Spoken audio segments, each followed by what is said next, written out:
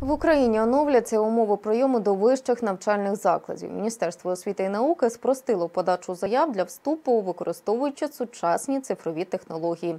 Які ще зміни чекають вступників у 2022 році, дізнавався Владислав Любченко.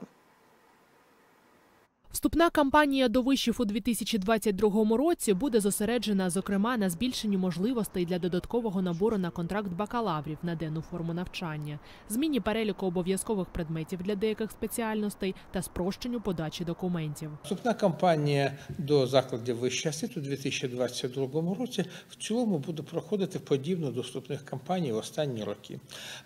Зміни, які заплановані, вони в принципі не стосуються найбільш фундаментальних питань, пов'язаних з організацією і проведенням вступної кампанії. По-перше, певною мірою розширити можливості вступу на перший курс на контракт на основі повної загальної середньої освіти, а продовживши відповідний строк прийому до 30 вересня. Також Олег Шаров зауважив, що наступного року будуть спрощені умови вступу на спеціальність охорона здоров'я. За пропозицією Міністерства охорони здоров'я, ті вступники, які вступають на основі молодшого спеціаліста з медичних спеціальностей, складали іспит крок М, зможуть використовувати цей іспит при вступі для, для продовження навчання за скороченими програмами. Викладачка одного із столичних вишів Анна Мельниченко додала, що університети створюють максимально безпечні умови, щоб під час вступної кампанії в умовах пандемії коронавірусу майбутні абітурієнти почувалися захищеними.